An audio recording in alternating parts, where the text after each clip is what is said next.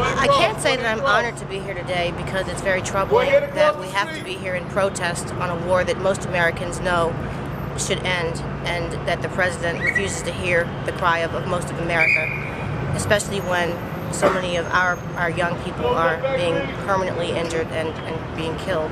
But what I'd really like to say is that for anyone who's serious or gives lip, lip service to claiming that they want to end the war and that we should bring the troops home, it's politically schizophrenic to say that you want to bring the troops home, that you want to end the war, and then send 1,300 new troops from Maryland to Iraq, especially when we have so many problems right here in Maryland and, and in Baltimore City.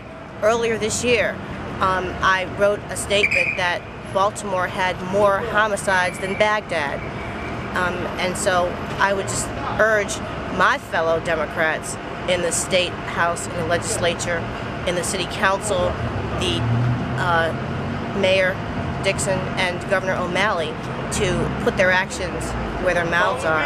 If they really want to end the war, take the steps necessary to do it.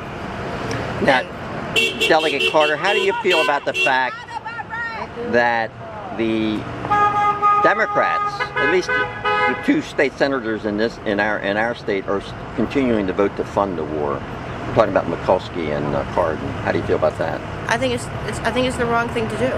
I think that I understand the, the explanations and the excuses, but I think again it's political schizophrenia to claim you want to end the war, you want to bring the troops home, and then continue to support it. And so I think it's the wrong way to go, and and they need and, and they need to hear this message from the people. Uh, anything else?